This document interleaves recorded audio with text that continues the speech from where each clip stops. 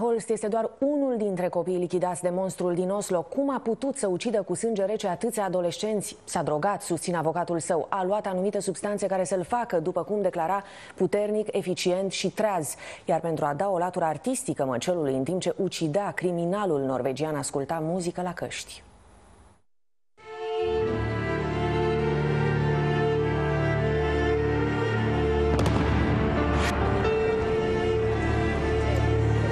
La Oslo a mai trecut o noapte a durerii. Peste 100.000 de oameni au ieșit pe străzi cu trandafiri în mână și s-au rugat pentru norvegienii uciși în atacurile de vineri. Toate străzile capitale erau pline de oameni. Florile care au fost puse în centrul Oslo se întind pe mai multe mii de metri pătrați. Ondskap kan drepe et menneske, men aldri beseire et helt folk.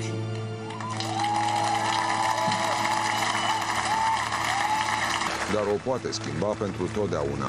norvegieni au ucis fără milă alți norvegieni. Și nimeni nu poate să-și explică treaba asta. Explicația nu poate fi decât una bolnavă, la fel ca planul dement al lui Anders Behring Breivik. Å redde Norge og Vest-Europa fra bl.a.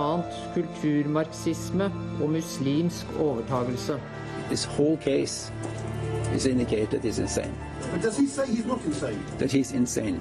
Martorii măcelului vorbesc despre un tablou de groază. Bering își executa victimele cu căștile pe urechi, ascultând muzica din Lord of the Rings. He acted very calm, yes, very relaxed. Uh, we will have a Norway uh, before and a Norway after uh, the bomb and the killings. Ieri, când era dus spre tribunal, Bering se aștepta să fie împușcat pe stradă, dar pedeapsa care îi se pregătește este prea blândă pentru o minte atât de bolnavă. Ar putea fi acuzat de crime contra umanității, o prevedere introdusă în codul penal norvegian în urmă cu trei ani. Chiar și așa, sentința maximă ar fi de 30 de ani după gratii. Det føler skam og sorg og det som har skjedd. Og alt i alt så skulle jeg ønske at det var ugjort. Men det er gjort, og det, det, er, det er forferdelig å tenke på.